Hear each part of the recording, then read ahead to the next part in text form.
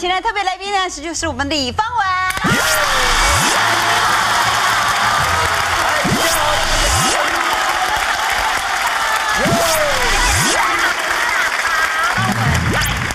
哎，哎呦，姐姐，这两位，这两尊他没看下，老师会不会给你？哎呀，比较话家常了，对对对，又聊起来了，你知道吗？因为我们的前世今生的妙珍主持。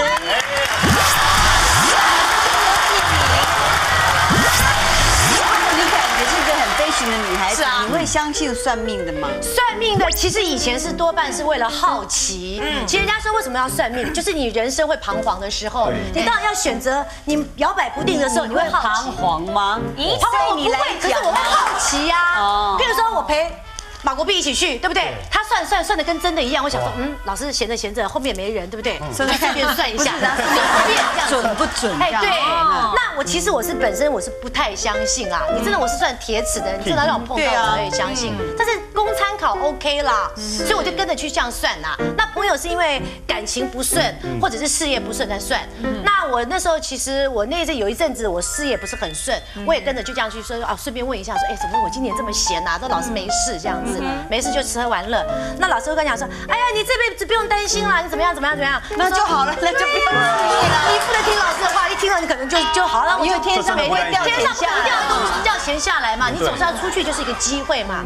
那我其实我是供参考，因为我有很多朋友就是因为相信算命，说你不要担心，你以后娶到一个很好的老婆，哎呦，吃喝不尽，减少奋斗三十年。但是我喜欢男的哎，男的不一样啊，性别不一样你就听了完了，可能就是。不一样的，那我是看了很多，那我自己本身就是反正就是供参考啦。那小时候我妈妈就跟我讲说，她有去也是妈妈嘛，年纪大妈就比较相信算命，就跟我算说，嗯，这个我以后嫁得出去嫁不出去或干嘛干嘛的，一算细呀，哦，小姨命，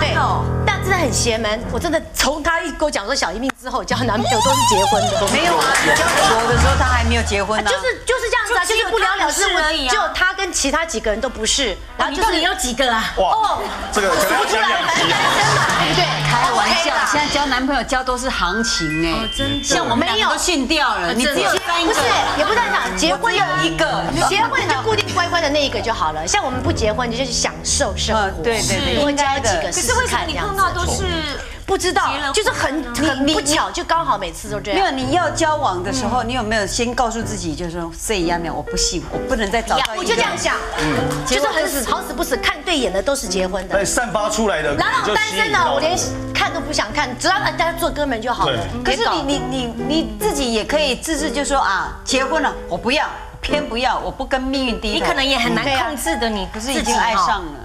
也不是，反正我觉得好像很多事情就冥冥之中好像就是，我觉得就那个准而已啊，其他都没有一个准的啦。嗯嗯其他你也算他不准的吗？有时候这一样也蛮准的嘛。对，就那个还还蛮准，到目前为止就真的这样子。然后目前为止你还在当人家摄影啊，啊，现在没有，没有，没有现在没有，现在空白期间。所以说单身的来来报名哈。小弟弟喜欢那种妹妹型的，好不好？我是姐姐型的，她不爱了。我我我也是有算命啊，那老师也说我是 C 一样命啊。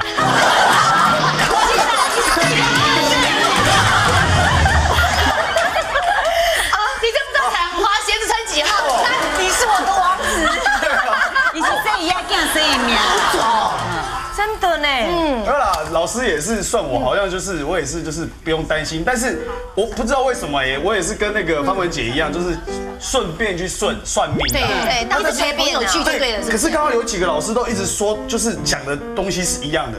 比如说，他说我大概三十六岁才会成家，你你今年现在几岁？我现在三十三岁，还有三还有三年就对了。可我我不知道我该不该像跟命运那种对抗。现在就结婚，顺其自然啊。可是我也想现在结婚，可是缘分一直没到哎。小甜甜一直在等你呀，他不会改变。你跟小甜甜真的很合哎。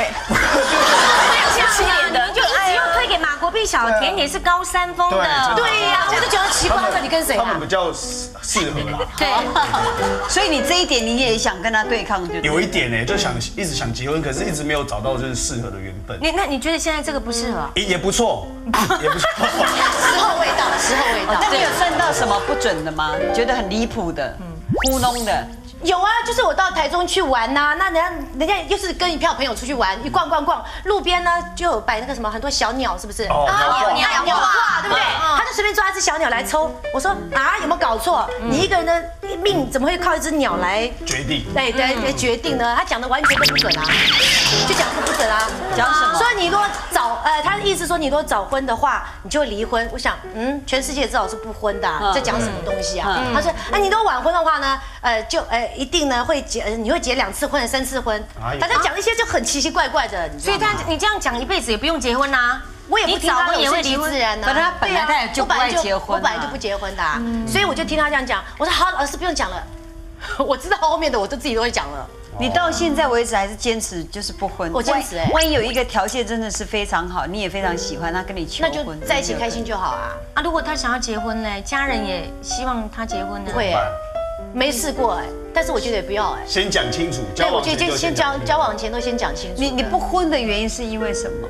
怕离婚，第一个怕离婚，第二个我觉得离了婚之后还要还要找人家来，因为我们都很方便呐，你随时扣我，我们就去当证人啊。我觉得离婚啊，我觉得其实一半的原因是我不相信男人，对，我觉得靠人不如靠自己。男人没有男人很自私，贱。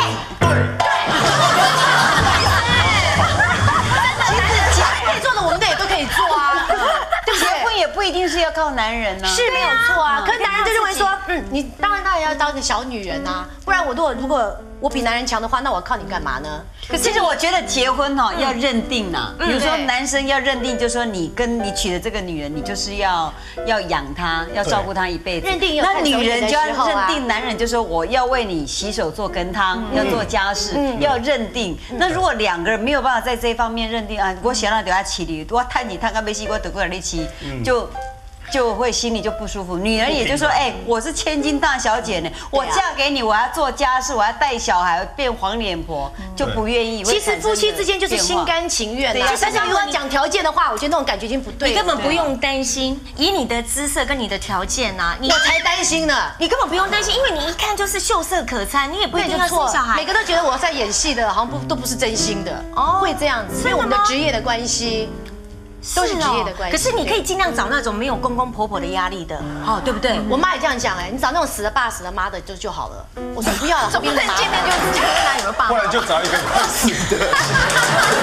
那年纪很大嘞，不用啊。怎么可能在讲开玩笑？在开玩笑？哎，你家的父母是不是快挂了？对，赶快求不要开玩笑的，我还我觉得还是享受生活比较好搞。不好你一个一个离了婚了，有小孩了，那你就也不用生小孩的压力，然后又没有公公婆婆，那你就很棒了，就可以结婚啊啦。那开心就好，为什么要结婚呢？嗯，哦，对不对？就包括你刚刚讲说，你也曾经就是说事业蛮低潮的，对对，你有因为会有啊但是因为我的我的心态不一样，我不会，我不是这么的积极，就是我觉得，有我们多吃一点，没有的话呢，我们少吃一点。我是一个能屈能伸的，我觉得我觉得开心最重要。那你有没有因为这样子，然后积极的去找算命师，花了很多钱？没有哦，那个是我这辈子花最多钱是。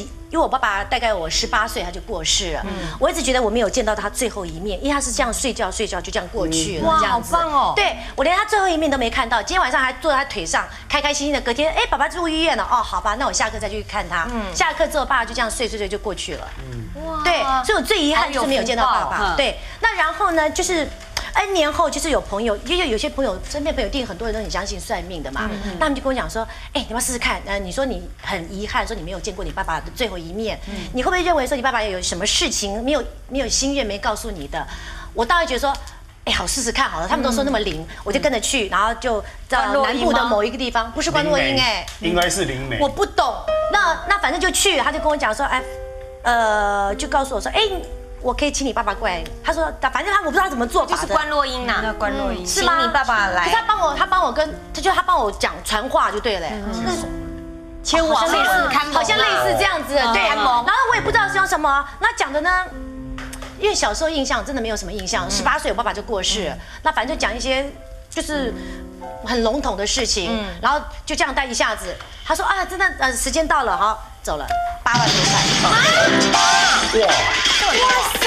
哇，你说这个到美国还要贵啊你没有。先问价钱呐，你就先做啊，没有啊，我想问这个东西，老师，这个东西不会贵那么离谱，不会那么离谱嘛？八千就不得了对啊，八万多块，多久以你给不给前啊多久十几年前。那你给不给钱？你都不给钱，你又怕乱七八糟麻烦，哦你知道吗 Oh？好，就乖乖去领钱给了他。他下次有什么问题再来找我，谢谢，再也没有联络了。就那次一给我的感觉就那时候你那么，小就可以领八万多块，对啊，八万那？你说这种事情就是。我们会觉得说啊，好了，没关系啊，花钱消灾。那谢老师像他这样子，真的需要费用到八万，还是他被骗？我是被被骗，对不对？应该是啊，因为他说要烧很多金钱给我爸爸，我爸爸这边很辛苦那一啊般。的费用大概是多少钱？其实这个是看地方，因为有些地方他可能就是，比如说你报名费，他可能收一千块，还有报名费啊？对，但如果有引上来的话，他才另外给你收其他的钱。哦，大爸听说你有去泰国拜过白龙王，有有，准不准？我觉得怎么说啊？我我觉得他跟我讲第一句话的时候，我就觉得准。他看到我，他就用用他法器打我的头。他说：“你不要再买鞋了，你鞋买太多了。你是蜈蚣是不是？所以你买那么多只脚因，为 因为那一年刚好工作很多，都需要买鞋。因为你说我们我们如果主持或是拍戏，一定衣服也许可以用我觉借的，得白龙王好好笑哦。他是每个人都在那里面买鞋，很正常我今天是找你算命，你管我买鞋买的。我就说是他算的准啊。如果他是爱买鞋的话，可是问题鞋是怎么样才算多？他说你不要买太多，他说你买了三四十双，我真的买三四十双鞋，就那一年。他说我买太多了，嗯，哦，对，那我就觉得真的很三四十双，方文杰可能三四千双啊，没有啦，我只是比较喜新厌旧，买了之后我就可能看在那边，可能招牌都没拿掉这样子啦，我就摆在那边。可是我鞋箱都还是其实女孩子一年买这样子鞋，他就说我我就说我不能没买，因为我要工作，我需要鞋子。对他说我就叫你不要再买鞋了，你这样买鞋对你不好。然后哦我就回去，我就后来我回来之后呢，我我没有问他为什么。就是怎么样不好，我回来之后我就真的没买鞋，结果节目停了，啊，所以真的我也不晓得记得记得这么准，准。鞋子跟节目是有什么关系？没有啦，其实大巴应该就是想说刘，改峰，你现在要赶快，不能再买鞋子，因为回去节目会被停，你没有投入，所以你没有钱买鞋了。拜见，比 白龙王说白虎啊，白虎啊，花费多少啊？原来他让我节目停是叫我不要买鞋的意思。哦，所以你的他就就告诉你节目快停了，你再买鞋也没用，用不到，哎，好像也是这样哦。是不是？那就准啦。我的广告高傲，他们我能说十个只准一个。